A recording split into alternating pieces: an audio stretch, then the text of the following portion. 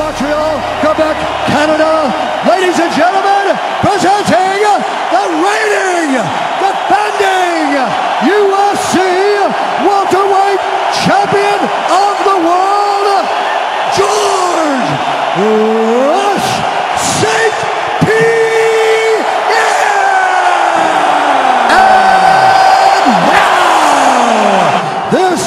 is the moment UFC fans around the world have been waiting for.